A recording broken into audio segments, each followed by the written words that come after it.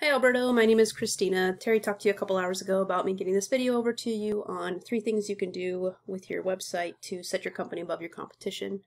So all the things that I'm going to talk about today are things that you can do yourself and things that you can change with your website to start getting more leads coming in. Um, the only thing that I ask is if you wouldn't mind just giving me some feedback on the video. Um, I send a lot of these out and I just want to make sure I'm not wasting anybody's time. So jumping right into it, we're going to talk about three things that your website could use. Um, content, citations, and backlinks. So with content, the average site needs 1,000 to 1,500 words in order to be optimized with Google. And it looks like you guys have probably less than 100. And it says 200 words, but obviously not all of that is content. Um, these videos count as content as well, but you definitely want to shoot for that 1,000 words. Um, when I did a search for landscaping San Antonio, um, your number one competitors are Bradley Landscaping, sorry, Bradley Landscaping, and they don't have a whole lot more content than you do. So they would be really easy to beat just by fixing your content. See 500 words. So that would be my first suggestion is getting to that 1000 words.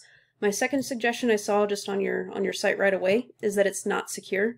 And that definitely you want to get that done. One, um, Google will not put um, unsecured sites in the number one spot, generally speaking, um, unless there's just absolutely no other competitors that are in your area, which obviously San Antonio is very saturated with landscapers. Um, so you definitely want to make sure that your website's secure so you can get up to the top on that. But also because it protects your customers. So if your clients come in and they were to fill out any information with their with your contact us page, um, this information would be really easy for scammers and and hackers to get. And obviously, people don't want that information to be shared. So even though it might just be their name, I would just you really want to make sure that your your website's secure. So the next thing that we're going to talk about are citations. Um, if you look here, oh, also real quick, I wanted to let to show you 2,900 people a month are searching for just this one keyword. And you want to make sure that these keywords are built into your content. Landscaping San Antonio would be one. And so that's 2,900 potential customers a month you guys are missing out on by not being on the first page of Google. So that's why the content is so important. But anyways, back to citations. So the next visible section in a Google search is what we call the map pack. And this is when people have their business name, address, and phone number listed under their Google My Business, which is completely free to sign up for. And then in order to get here at the top, you notice here that um, Bradley is number one, but then Grounds Guys is in the number two spot down here, but they're not up here. So you can rank on the top three of here without being in the top three of here.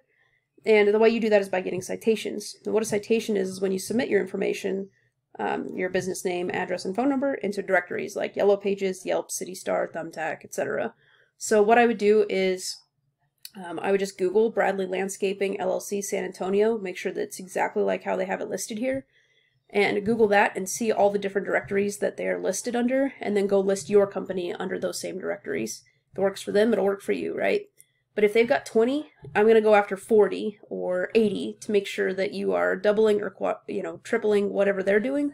That way you can make sure to you know take over these spots and stay at the top of them as well. So Never just want to like beat your competition by a little bit. And you want to blow them out of the water. And then the last thing that I want to talk about are backlinks.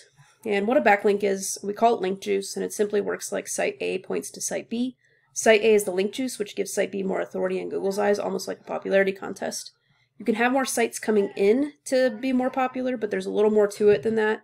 Link juice is more effective if you have a relative site linking back to you. For example, a blog post um, about landscaping, you know, maybe about like different um, different pavers that you'll use, you know, a blog post like that is going to bring you a lot more authority and power than a blog post about pizza because you guys don't sling pizzas for a living. So this tool I'm going to show you that you can go out and get yourself, it's called Ahrefs, A-H-R-E-F-S dot com.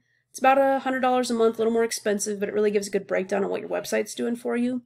And you guys currently have 14 referring domains with 29 backlinks. So if you remember that Bradley Landscaping was in the number one spot, so these are the numbers that you need to beat. They have 226 referring domains with over a thousand backlinks. And so what you could do with this tool is click on their referring domains and see where they're getting listed and then go find out what it would take to get listed, your website listed on these different websites. Now, a lot of them are going to be, um, like some of these are directories. So what you would want to look for, like these blog posts, these are going to be the highest power back to your site. So definitely would make sure that you're going after some of these blog posts and figuring out do you need to write content for the site or you know how do you get listed sometimes that does cost money You just have to, you know, do your homework. So in closing, we talked about three things: content, making sure you get up to that thousand words on your on your home page, citations, getting listed in different directories, and then link juice, making sure that you have other websites linking back to you guys. Uh, just reach out to them and figure out what it takes to get on there, and you can use a tool like Ahrefs to figure out what websites you need to get listed under. If you have any questions about this, or you feel like you just don't have time to mess with this stuff and you're looking for some help with it, absolutely give me a call. Again, my name's Christina. I'm with KC Phoenix SEO. My phone number is 816 323 4100. Thanks for watching my video.